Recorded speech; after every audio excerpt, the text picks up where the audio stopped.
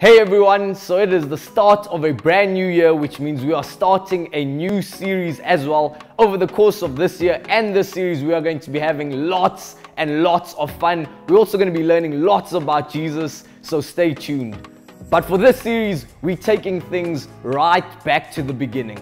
Now, when I say beginning, I mean way, way, way back to the beginning where it was just God and no one else existed. Think about that. Who made God? How did God come to being in existence? All these questions are mind blowing if you try to think about it. I mean, the Trinity, three in one, I just sometimes can't actually wrap my mind around all of these things. But what's crazy is that that's what makes God God. If we as human beings could fully understand Him or know everything about God, well, then He wouldn't actually be God. And what's left for us to do is to stand in amazement at how big and amazing our God is because of what He has done. And over the course of this series and this service, we're going to be looking at it in a bit more detail. But for now, I'm going to need all you guys to stand up to your feet because we're going to be worshiping our King. And what's even more exciting is that we have brand new action songs. So get excited. Thank you for the sun that shines. Thank you for your light that guides. Thank you for the lamp unto my feet. Thank you for our daily bread. Thank you for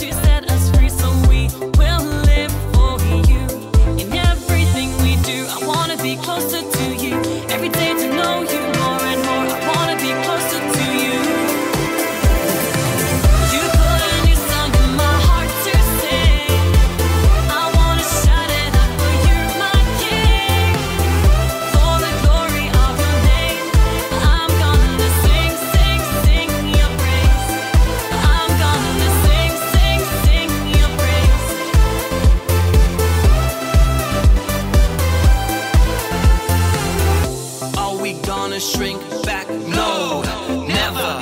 We wanna see your kingdom come.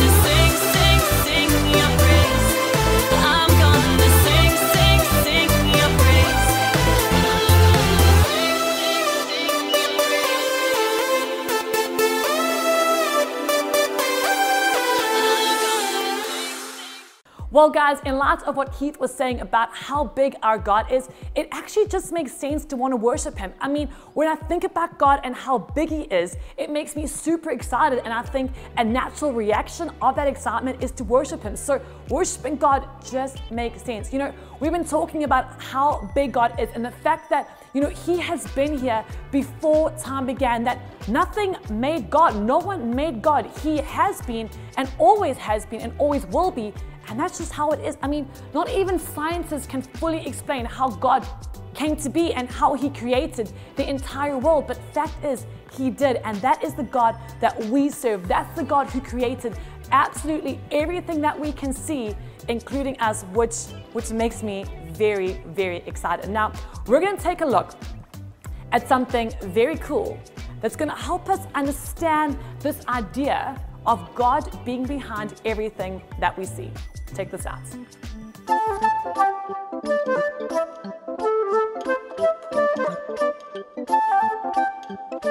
Hey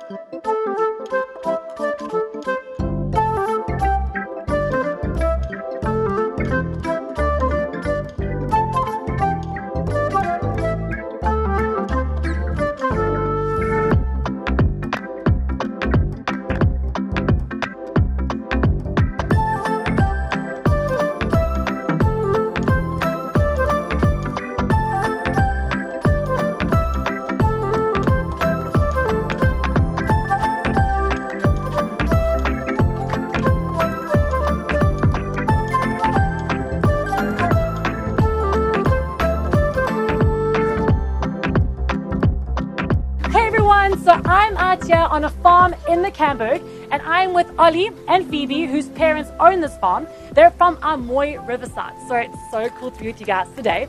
So, Phoebe, how old are you? Nine. Nine years old, and Ollie, how old are you? Eight. Eight years old. So, guys, it is so cool to be on your farm. So, uh, Ollie, what what farm do your parents have? Um, dairy farm. a dairy farm. So as you can see behind me and us, there are a whole bunch of dairy cows. And guys, so what do dairy cows make? Just to help everyone out there, Milk. farm- farm kids. Milk. Milk. Is he right? Yes. Milk. So this is where your milk comes from. These cows over here is what brings your milk to you. So now I want to ask you guys a quick question. Uh, Phoebe, what is your favorite thing to do on the farm? Fix the tractors. a cow on Did you guys hear that? Fix the tractors. Her favorite thing to do is fix the tractors. That's that's amazing. And Ollie, what is your favorite thing to do on the farm? motorbike ramping. Motorbike ramping. These kids are hardcore, guys. Now, Phoebe, can you tell us where exactly we are on your farm? We're at the dairy. Awesome, at the dairy. And what happens here at the dairy? They milk the cows. Okay, so we are at the dairy where these cows are milked. Now, Phoebe, how many cows do you guys have on your farm? Um, 3,000. Did you guys get that? 3,000 cows. So you have like a lot of pets, eh? That's, that's a lot of pets. Um, I'm not sure about you guys. There's a, there's a cow weeing on the side there. That, that noise is, a cow weeing. And um, I'm not sure about you guys, but I don't think I can top 3,000 pets. How many of you guys out there can top 3,000 pets? Anyone? Uh, you, you can. You can. That's crazy. So now, Phoebe, what's what do your cows eat? Like what's food for them? Like uh, what do they Um, eat? Silage and pellets. And what else do they eat? Um, I heard they eat mealies. Do they eat mealies? silage. Silage. That's the fancy word for it. Silage. Okay, so these cows eat silage and it's, it smells great. If you could smell what you're seeing, it's wonderful. It's wonderful. Okay, so now Phoebe, I want to ask you a question. Okay, do you do you name any of these cows? Because I mean, there's like three thousand. I mean, I I like to name my pets, but I can imagine naming three thousand cows must be quite a thing. So, have you guys ever named a cow? Yes, before. Okay, Yeah. what did you call your cow? Milkshake. Milkshake. Can you agree that I think milkshake is a very fitting name for a cow? Not so? Okay, so on that, I want to ask you guys a question. This is looking great. Can you? That looks amazing. What is your guys' favorite milkshake? Phoebe, we'll start with you. Favorite milkshake? Lime. Lime. That's the green one. Okay, Ollie, your favorite milkshake? Uh, bubblegum. Bubblegum milkshake. Okay, so we got lime, dressed in green, bubblegum in the blue. Very, very fitting. So I want to know from you guys, okay, what your favorite milkshake is. So I'm going to count down from three. And on go, I want you to shout out what your favorite flavor milkshake is. I'm talking Oreo, Bar One, chocolate, caramel, whatever you want to do. Are you ready? Okay, you guys better shout again. Okay, so lime and bubblegum. Are you ready? Three, two, one, go! Lime. Chocolate. Yours was? Uh, bubblegum. Yes. Okay, so that was really cool. Now, Phoebe, I want to ask you so we hear yeah, the cows get milked in the dairy. So now, where does this milk go that gets milk from the cows? Where does it go next? It goes to a tank in the room behind us, Okay, so into a big tanker, and then from a tanker it goes into a truck tanker, into a truck tanker. Okay, and then from a truck tanker to a factory, to a factory, and then from the factory um, to the shops. to the shops, and that's where you guys get your milk. So basically, when you guys go to a local shop and you just pick the milk off the off the counter, this is where it all began. And I bet when you guys take your milk off the shelf, you don't even think about where that milk came from. But trust me, there is a lot going on, clearly, behind the scenes of what gets your milk to you on the shelves to use in your cereal at home or in your tea or coffee, and it's, it's pretty exciting. I'll tell you that. Well, guys, that's all from me here at the Kamberg with Ollie and Phoebe. Guys, thank you for being with us. It's been awesome, and thank you to all your pets for being with us too. It's been it's been great fun, and um, yeah, we'll we'll catch you on your bikes just now. Can we do that? Yeah. Awesome. Can we say goodbye? Bye.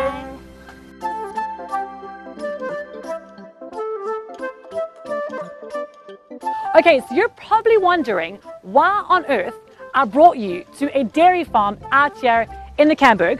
Okay, and if you could smell it, you'd really wonder why.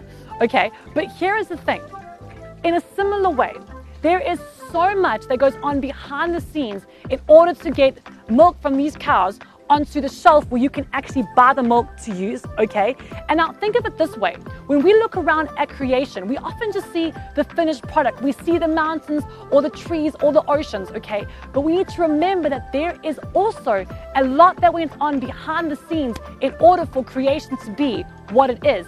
And that thing, that process behind the scenes is our God, our God, the Creator, who breathed out the stars, who was here before time began, and who created absolutely everything that we can see, even these dairy cows. So think about that, and we're going to check something else out in just a moment. Wow, guys, after taking a look at that video, I honestly didn't know that there's so much that happens behind the scenes in order for us to find those things on the shelf so that we can buy it.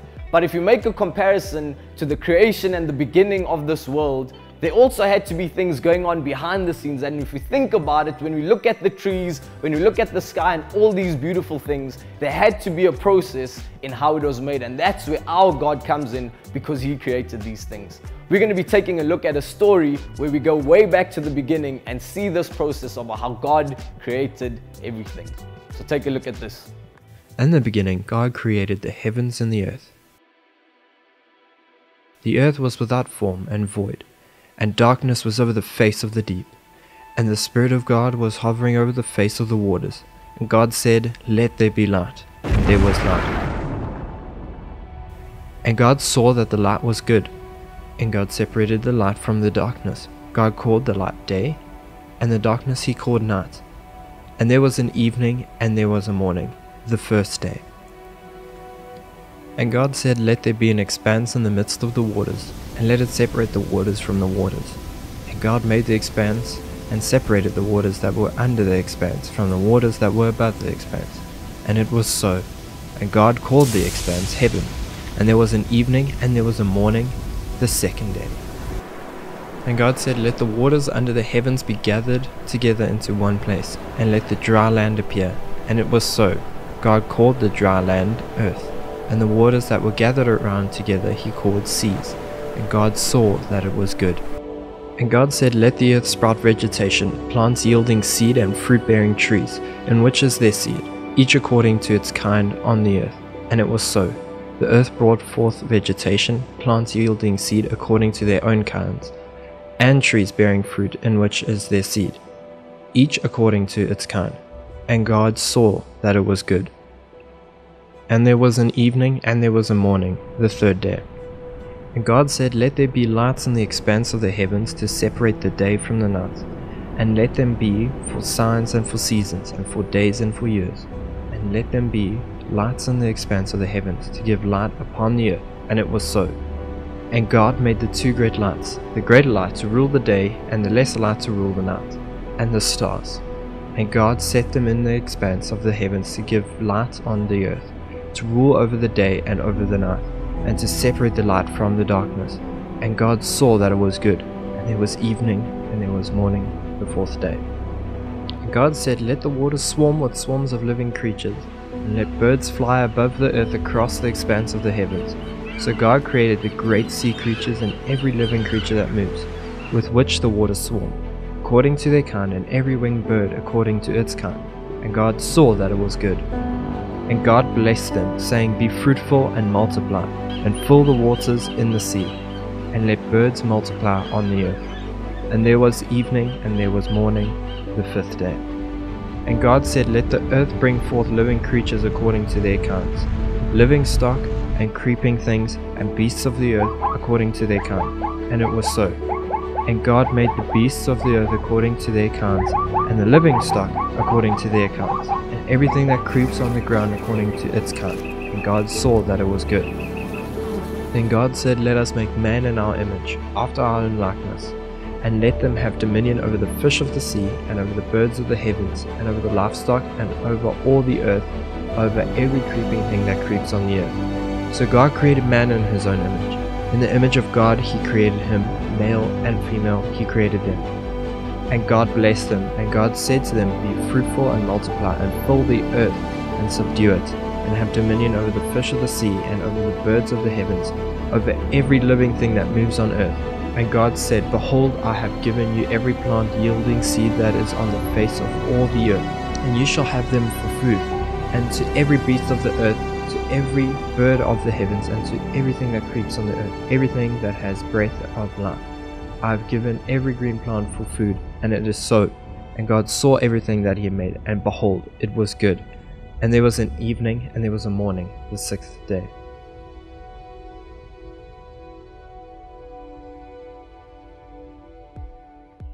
Wow.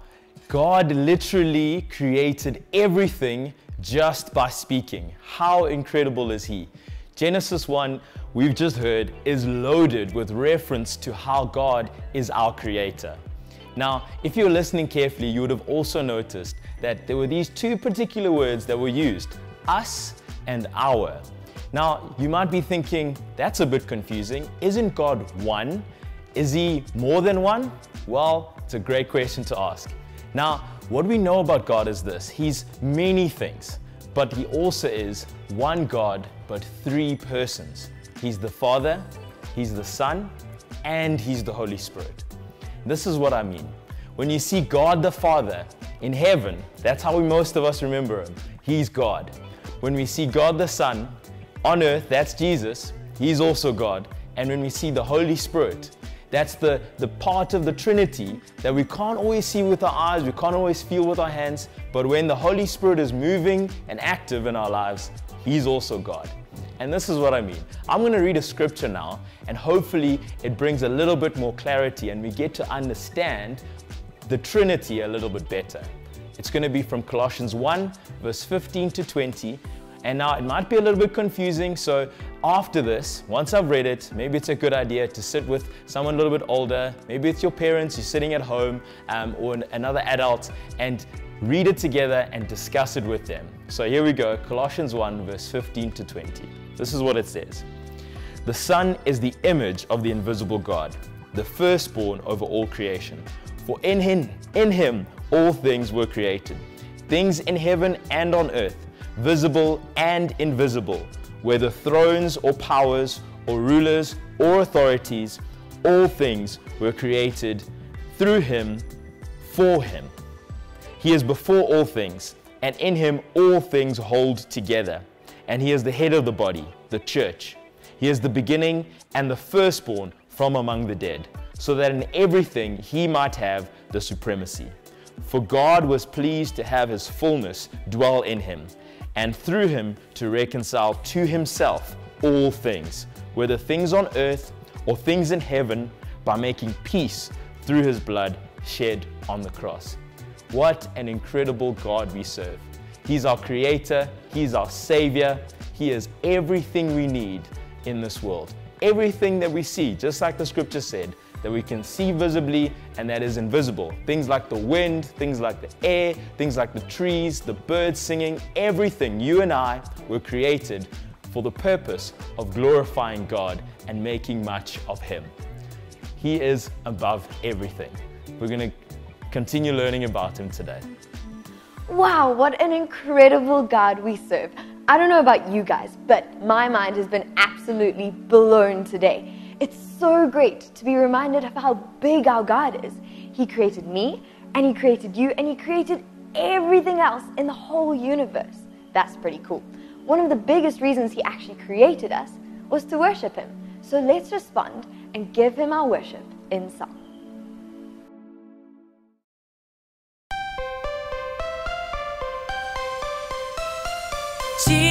Jesus, I give you my heart. I give you my life. I give you all of me. Jesus, I give you my song. I give you my voice. I give you all of me. Jesus, you are the greatest. You're mighty and you're strong. I lift my hands in worship and sing of who you are. No other name is higher, no other name is true. We lift our voice and sing it out. God, we look to you. Jesus, Jesus, the name that has power. Jesus, Jesus, the name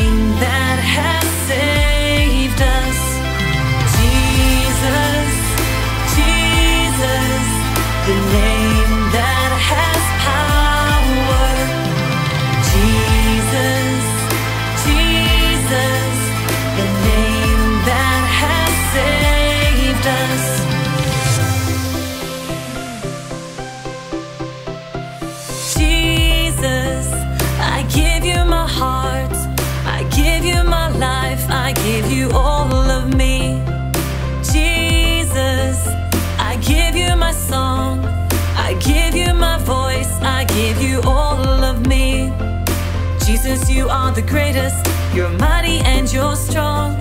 I lift my hands in worship and sing of who you are. No other name is higher, no other name is true. We lift our voice and sing it out. God, we look to you.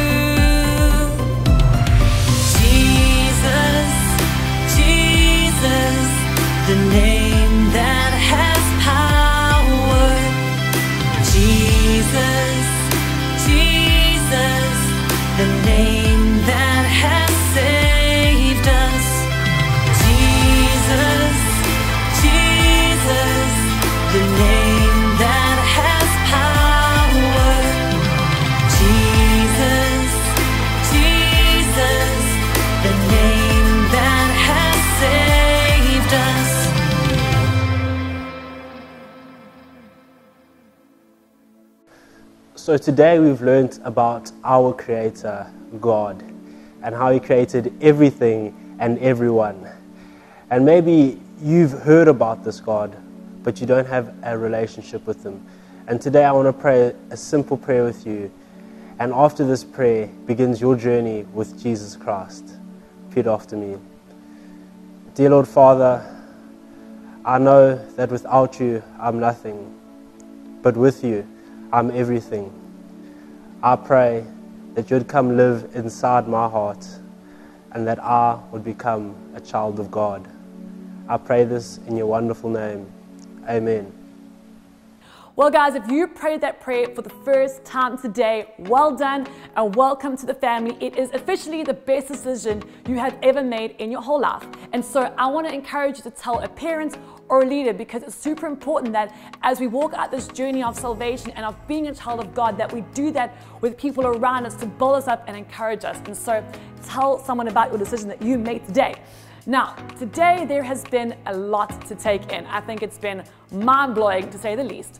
But if I can leave you with one thing, it is this is that God has always been and will always be, that He has been here before time began and is in absolute control of everything. He is the ultimate creator God. He created everything that we can see, including you and me, which is probably the coolest thing ever. Well, guys, that is all from us for today. We will see you next week for a brand new series, which is going to be very exciting. So we will see you there.